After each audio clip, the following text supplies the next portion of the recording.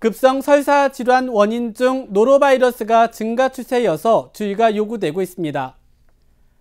지난달 20일 식중독 의심 증상을 보인 대전 서구 소재 A초등학교 학생 일부에게서 겨울철 식중독 원인균인 노로바이러스가 검출된 것으로 확인됐습니다. 겨울철 노로바이러스 식중독을 예방하기 위해선 외출해서 돌아온 뒤 조리 시작 전후에 반드시 세정제를 이용해 흐르는 물에 20초 이상 손을 깨끗이 씻어야 합니다.